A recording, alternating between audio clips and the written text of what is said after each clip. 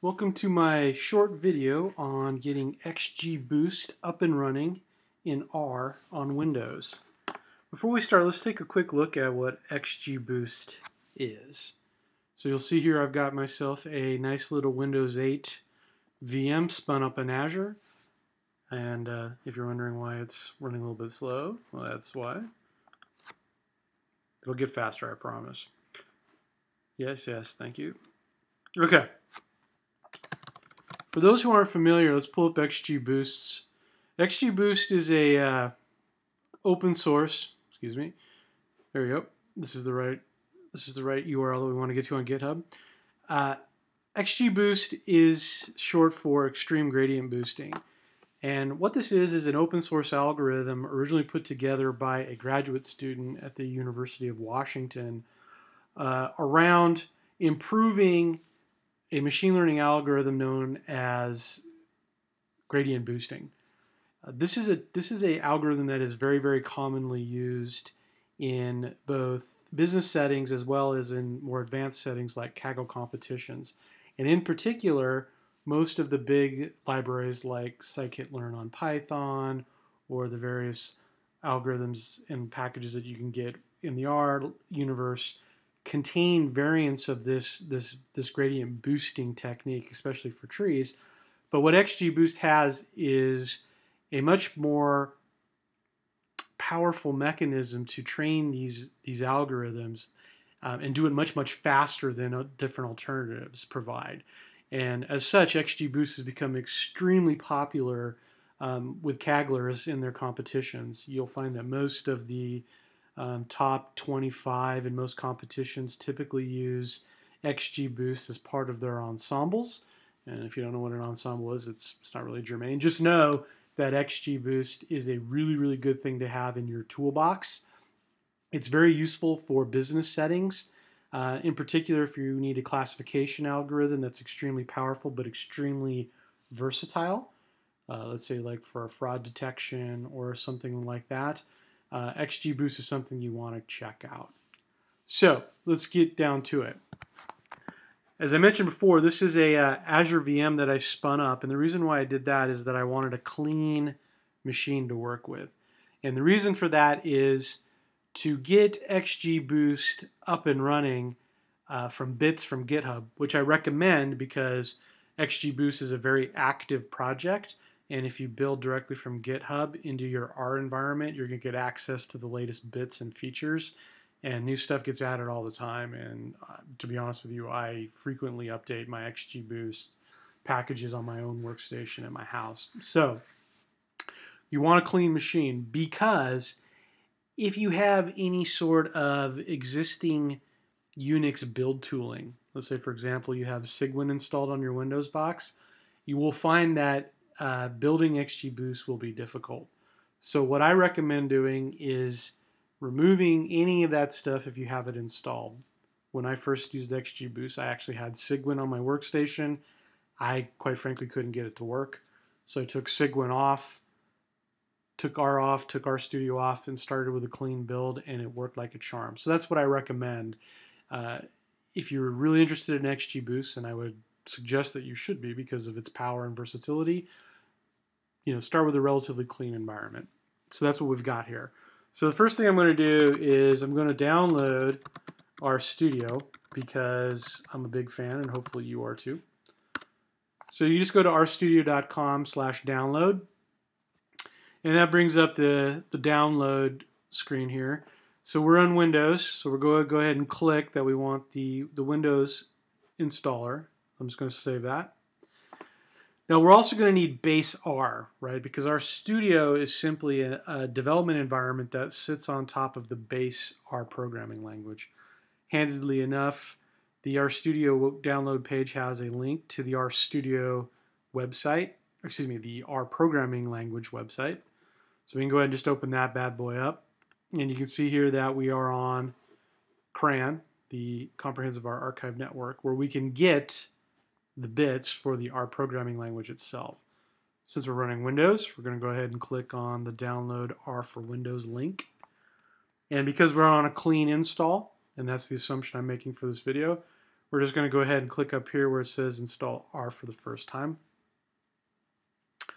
And we're going to download the current version, which at this at the time of this recording is version 3.2.3. We'll just go ahead and download that as well. Now, because we're running on Windows and because I'm making the assumption that we have a clean machine, we're also going to need something called RTools. And the easiest way to think about RTools is that it's a collection of Unix style build tools for Windows that R needs to actually build packages. Okay, so you can see here that we're on the RTools website. It's pretty easy. Just type RTools into your favorite search engine and it should pop up as one of the, if not the first, the top five links that come back. Now you'll see here that there's a bunch of versions. Now what we saw from the previous page is that we've downloaded 3.2.3 so the first two versions of RTools will work for us because it is compatible with the version we just downloaded. But what I would heartily recommend is that you go with a frozen version. Uh, that just gives you you know stable bits, and when you're talking about build tools and compilers, I would say you just want the stable bits. So we're going to go ahead and download rtools32.exe. And that will give us our base set of binaries that we need here. Let's go ahead and view our downloads. We're good. All right, so let's pop that bad boy open.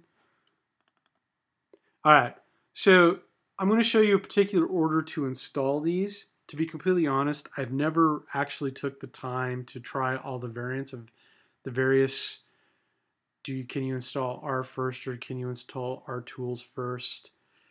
Obviously, you want to install R before R Studio, the R programming language, before the R Studio IDE.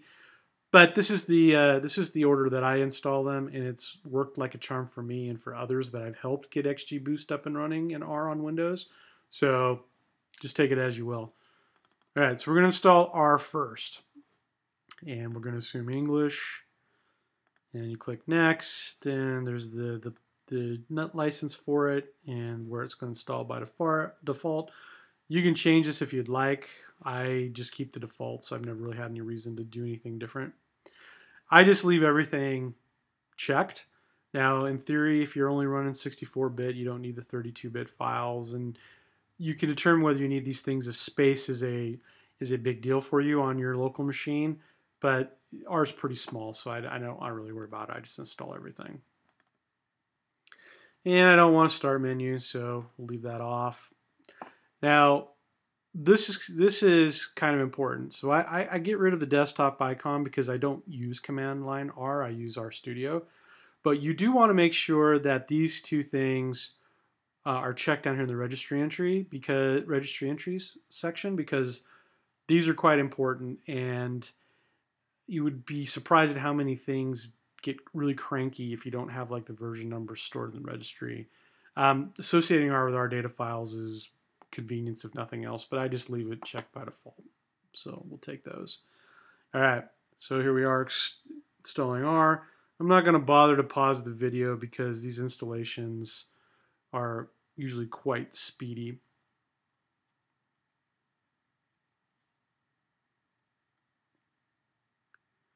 And we're rolling here.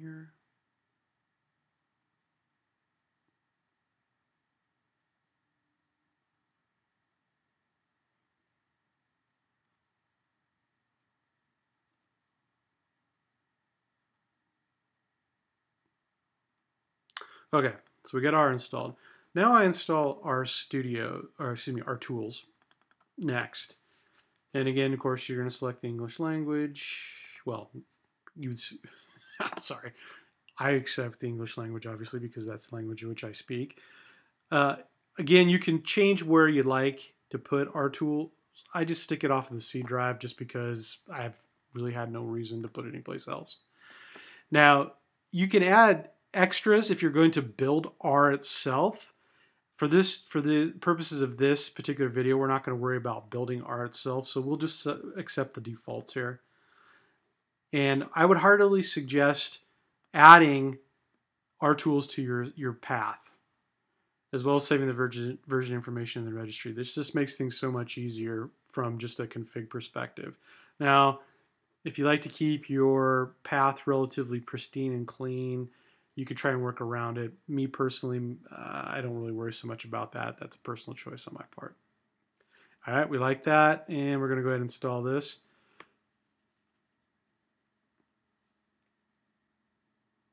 And this shouldn't take too long. As you can see, the progress bar is relatively speedy.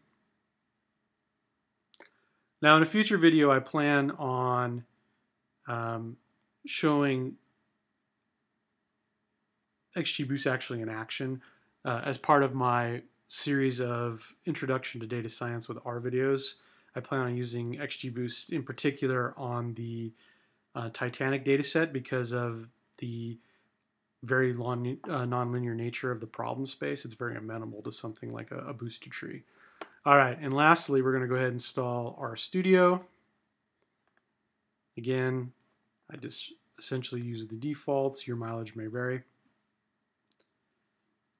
And again, this shouldn't take take too long. Now, it is worthy of note. Let's go flip over to the XGBoost website while that's installing. And I'll hit the R package directory here in, in the GitHub for XGBoost. Uh, it's worthy to note that you can, as I mentioned earlier, um, install directly from from the bits in, in, in GitHub. And this is what I would recommend doing because of the frequent updates to XGBoost and the features get added quite regularly. Uh, if that seems a little bleeding edge for you, you can just install a precompiled version of XGBoost directly from CRAN, directly from the um, gold standard, if you will, uh, repository for R packages. Um, that's that's that's obviously a an option for you if you so choose. But for this video, we're going to go ahead and install directly from the latest bits uh, directly out of GitHub. Okay, sweet. So we are up and running. Let's just go ahead and start up RStudio here.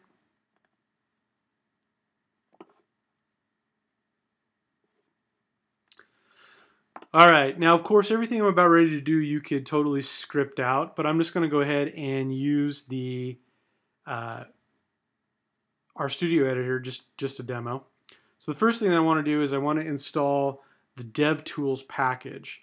Now the DevTools package essentially is your link between the R environment, the RTools build build environment that we just installed, as well as the GitHub source code for XGBoost. So it's pretty easy. We just say, hey, we're going to install package, type in DevTools, click install, and RStudio just generates the actual R script. Now, if you're a an R guru, this may seem extremely simplistic, and if you're mortally offended, I apologize. Um, I'm a GUI guy myself, so there you have it. Now, you'll see here that DevTools itself depends on a lot of things. So it's down. It's going to automatically download from CRAN the uh, all of the packages that DevTools depends on, and there's there's a number of them here, and you can see here that it's um, going to take a bit of time to install all that. So while that's running, let's go ahead and flip back to the XGBoost website. Uh, you can see here that there's quite a bit of good documentation uh, on XGBoost. For example, if you want to um, look at their walkthroughs, you can hit that. There's a whole bunch of R code here. Here's the MD file. Um, talk, look at the basic walkthrough. Here's all the source code. You can cut and paste it. These are also accessible directly from inside of the package using the demo feature in R, and I'll show that in a bit. But if you actually just want the, the direct source code, you can totally pull all that stuff up. So at heart, I would very much recommend exploring the XGBoost website. It's pretty good. Um, what's also really cool is if you can actually take a look at some example scripts from the Kaggle Higgs Boson Challenge here, um, which was XGBoost figured prominently in a large number of highly placed uh, highly placed teams in that particular competition. Again, testing to its power and versatility. All right, let's go ahead and scroll back, see what we're going here. All right, so we got DevTools installed. This is great, so we're ready to rock and roll, as, as my dad would say, sorry. Uh, so this command right here, we'll just go ahead and copy this. So this says, hey, look, you from the DevTools package, invoke the install GitHub function, and here's the address for the package that we're interested in. So we'll just copy that, paste it in, hit enter. And what this is doing is downloading, obviously, all of the code directly from the GitHub repo. And it's invoking all of the build steps that are necessary to actually get this up and running on Windows. Uh, you can see here, for example, it's invoking G++. So that's why you need uh, R tools, is to get that Windows version of G++ available in a location where R can find it. And if you're familiar with command line C and C++ from the Unix world, um, a lot of this will be familiar to you. If you're more of a Visual Studio Windows kind of person, this uh, may be a bit verbose. But this won't take long. Almost there. Okay, cool. Great. So, as I mentioned earlier, we can do the, uh, the demo command here inside of R, and what you get here is a list of R demos. So what I said is, hey, R, give me the list of demos that are available in the package XGBoost. Now this is basically showing that, hey, you know what? XGBoost built because this wouldn't work otherwise. And here's the demos that are available in the package of XGBoost. Now we'll go ahead and execute the basic walkthrough demo just so you can see it in action and then that way verify that in fact your build of XGBoost was successful. You're going to need some you're going to need another package to make that one work, make that demo work to its fullest, and that's ggplot2. So we'll just do, go ahead and install the ggplot2 package. Doesn't take but just a few seconds to get that up and running. And this is just because one of the functions that's invoked in this basic walkthrough demo that comes built into the XGBoost package uh, produces a graph using ggplot2. And if you don't have ggplot2 installed, then obviously it's not going to work. Okay, cool. With that, we can say, hey, you know what? I want the basic walkthrough demo from the package XGBoost. And it's ready to go, so we just hit enter. And it's loading the package. And, oh, well, let's see. It says, look, this package is also necessary. Let's go ahead and uh, install that one. Oops, sorry.